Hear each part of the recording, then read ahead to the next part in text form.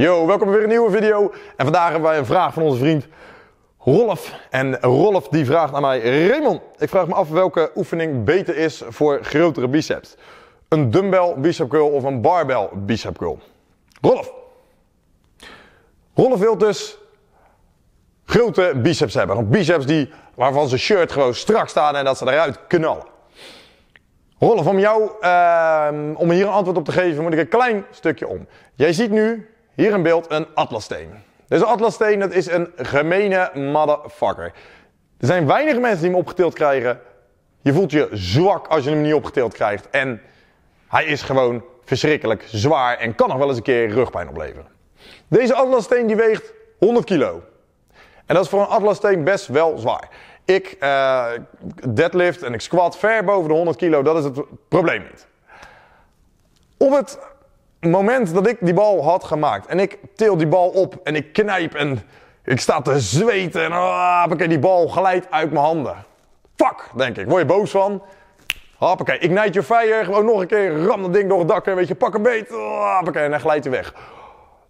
Toen kwam ik er dus achter, oké, mijn, sowieso mijn borstspieren en mijn biceps, zoals je ziet, die zijn niet erg groot. Die moeten voor mij, dat is ook niet mijn doelstelling, die moeten sterk zijn, niet groot. Eh, die waren dus gewoon simpelweg niet sterk genoeg en die bal die bleef maar glijden. Ik had dus dezelfde vraag als jou, alleen met de tegenovergestelde doelstelling. Ik wil kracht opbouwen en jij wilt grotere guns hebben.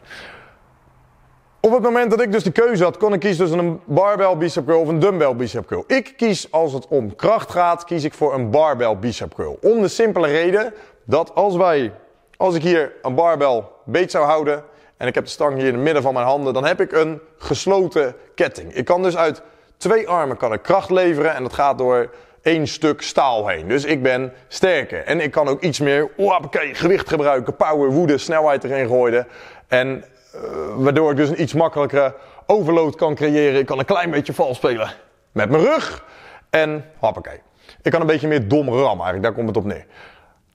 Dat is niet jouw doelstelling. Als wij het precies om zouden draaien, ik zou voor jou adviseren, kies dumbbell.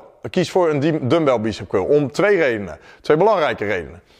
Nummer 1 is, als jij staand een barbell, dus een barbell, bicep curl doet, dan kom je op een gegeven moment tegen je bovenbenen aan. Dat is in de staande positie niet zo'n probleem. Maar als je natuurlijk bijvoorbeeld op een bankje zou zitten, een klein bankje en je leunt een beetje achterover, zoals je begrijpt, dus ik mijn armen strek, dan kom ik makkelijker met de barbell op de bovenbenen. Met dumbbells heb je dit probleem niet. Met de dumbbells kan je een complete bewegingsuitslag maken. Je kunt de complete lengte van de spier uh, gebruiken. En al de spiervezels in die hele lengte die kun je beschadigen. Dus je hebt meer spiervezels te beschadigen, waardoor er dus meer tegelijkertijd kunnen gaan groeien. Um, dus dat is een reden nummer 1, de bewegingsuitslag. Reden nummer 2 is verschrikkelijk belangrijk, dat is een stabilisatie-effect. Ik zie je vast denken van ja, Raymond, ik hoef niet uh, te stabiliseren. Ik doe niet, uh, weet ik veel, een honkbal of golf. Weet je, mijn bewegingspatroon is prima. Ik hoef niet, weet je, te stabiliseren. Maar ik zou je een voorbeeld geven. Op het moment dat ik hier aan het bankdrukken ben. Dit is 40 kilo. En ik blijf heen en weer bewegen. Zoals je normaal zou bankdrukken als het voor bodybuilding doeleinde is. Dan zie je dat je bovenin minimale, minimale rust hebt. Gewoon zo goed als niet. Laten we het op een halve seconde houden.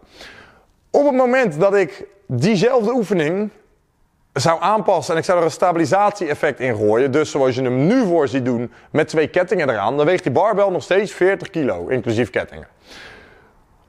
Bij welke variant van deze oefening denk jij dat ik meer spiervezels zal aanspreken?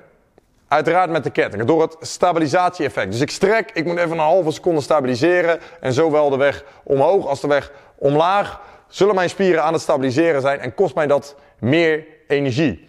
Zoals je begrijpt, je voelt natuurlijk waar ik naartoe ga. Als jij met een dumbbell simpelweg rechtop gaat staan en je gaat die bicep curls maken, dan deze minuscule stabilisatie mogelijkheden en die stabilisatie, wat, wat het stabilisatie effect, stabilisatie wat voorkomt, als je aan het bewegen bent, dat vreet natuurlijk veel meer energie en dat zorgt er ook voor dat je spieren sneller groeien als je dit vergelijkt met een barbell bicep curl. Moraal van dit verhaal, als je voor spiermassa gaat, dumbbell bicep curls. En als je voor kracht gaat, zou ik in mijn wereld een dumbbell,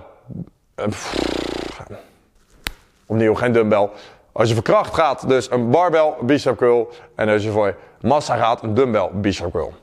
Wil je nog meer van zulke soort video's zien? Neem dan eens een kijkje op mijn kanaal. Dan kun je ook gelijk abonneren. Dit was Raymond Schultz, totalstrength.nl. Ignite your fire and grow stronger.